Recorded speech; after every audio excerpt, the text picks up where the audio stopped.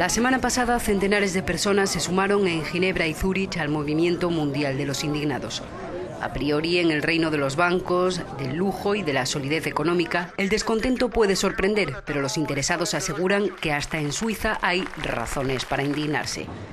Desde la falta de reglas del sistema financiero hasta los dictados impuestos por los bancos privados, pasando por los seguros privados, cada vez más caros.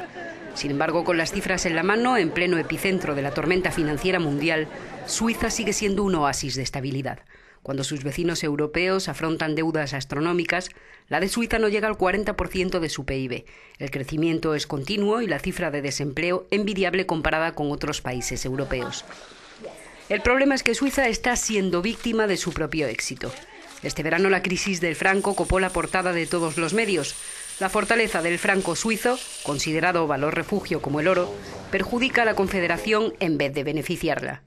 En un año el valor del franco suizo se ha disparado un 20% con respecto al euro y un 18% frente al dólar. Tanto los sindicatos como el Banco Central se muestran inquietos. La crisis del franco amenaza 100.000 empleos, porque además de las previsiones de crecimiento revaluadas a la baja, las exportaciones podrían caer del 7% en 2010 al 2,6% este año especialmente en el punto de mira los sectores vinculados con la exportación, sobre todo el de la maquinaria, el de la industria textil y el de los equipos eléctricos. Pero no son los únicos. Los pequeños productores de queso, por ejemplo, han visto cómo sus exportaciones caían en picado. La situación tampoco es fácil para los comerciantes. La fortaleza del franco suizo ha disparado el poder adquisitivo de los helvéticos, pero la clientela cruza cada vez más a menudo la frontera para hacer sus compras.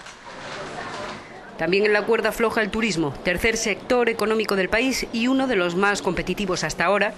Es el que más tiene que perder, como se constata ya con la caída del número de visitantes europeos. Por ahora esas pérdidas serán compensadas en parte por el aumento de turistas de países emergentes.